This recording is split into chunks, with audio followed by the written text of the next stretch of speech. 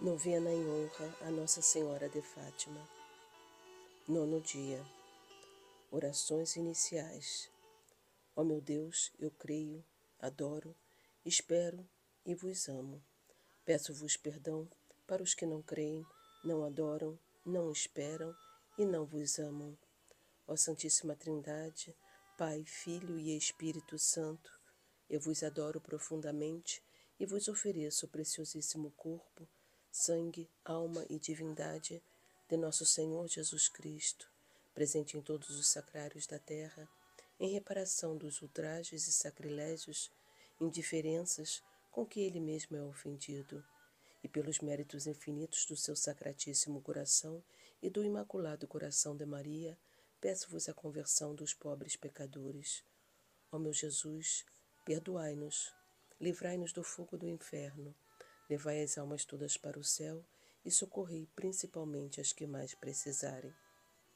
Ó Santíssima Virgem Maria, Rainha do Rosário e Mãe de Misericórdia, que vos dignastes manifestar em Fátima a ternura do vosso imaculado coração, trazendo-nos mensagens de salvação e paz.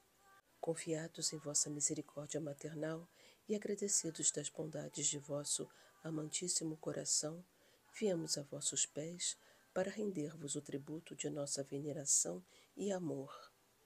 Concedei-nos as graças de que necessitamos para cumprir fielmente vossa mensagem de amor e a que vos pedimos nesta novena. Pedir as graças. Se forem elas para a maior glória de Deus, honra vossa e proveito de nossas almas, assim seja. Nono dia. Imaculado Coração de Maria. Ó Santíssima Virgem Maria, nossa Mãe Dulcíssima, que escolhestes os pastorinhos de Fátima para mostrar ao mundo as ternuras do vosso coração misericordioso e lhes propusestes a devoção a Ele como meio pelo qual Deus quer dar a paz ao mundo, como caminho para levar as almas a Ele e como penhor supremo de salvação. Fazei, ó coração da mais terna das mães, que possamos compreender vossa mensagem de amor e misericórdia, que abracemos com filial adesão e que a pratiquemos sempre com fervor. Assim, seja vosso coração nosso refúgio, nossa esperança e o caminho que nos conduz ao amor e à união com vosso Filho Jesus.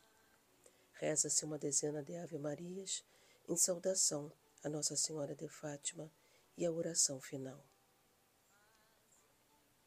Ó Deus, cujo Filho unigênito, por sua vida, morte e ressurreição, nos mereceu as recompensas da salvação eterna, concedei-nos, nós vos pedimos, que recordando pelo Santíssimo Rosário estes mistérios da bem-aventurada Virgem Maria, imitemos o que encerram e obtenhamos o que prometem.